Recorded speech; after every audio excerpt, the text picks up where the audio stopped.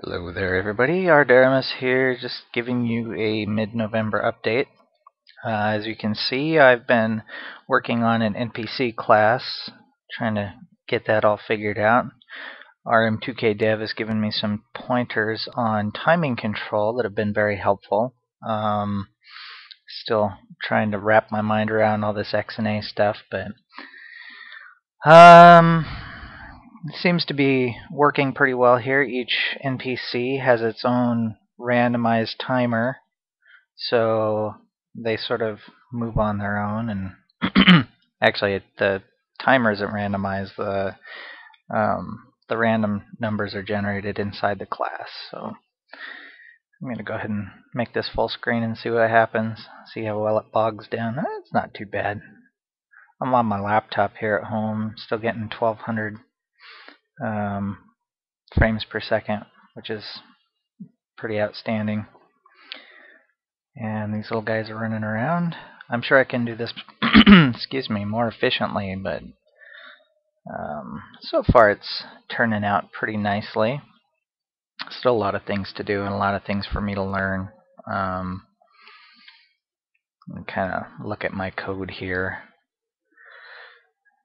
essentially what I've got going is I've set up you know an NPC type so I can randomize the type of NPC generated or I can specifically call it um, gave it a name and height width source rectangle um,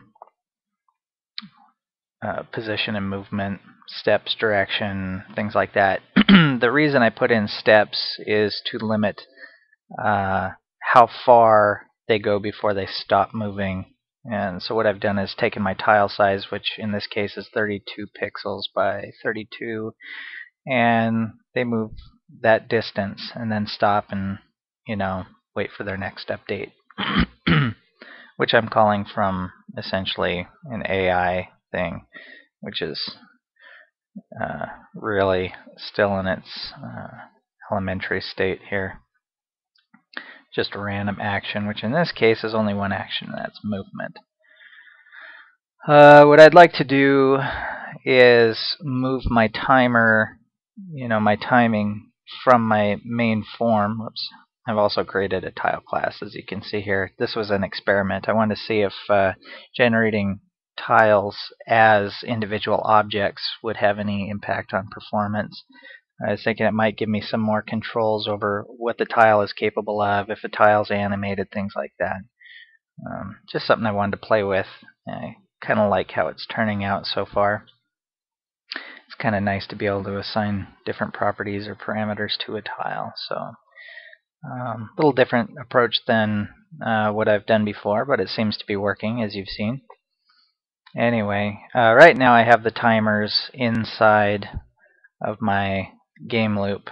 And what I'd like to do is take these uh, timers that I've created. They're not actual timers, uh, as I stated before, but environment ticks is what I'm monitoring for these. Um,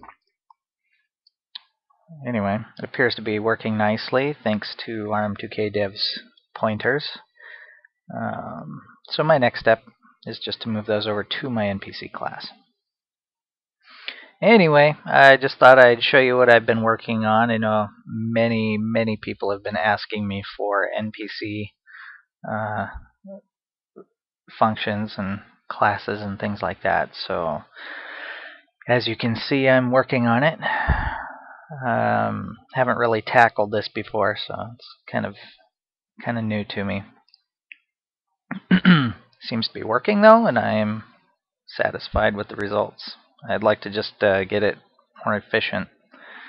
Anyway, I uh, hope uh, I can get an actual tutorial out to you. As you can see, it's pretty complex, so you know, learn trying to figure out how to squeeze that into a tutorial that's under an hour long would be uh, fun.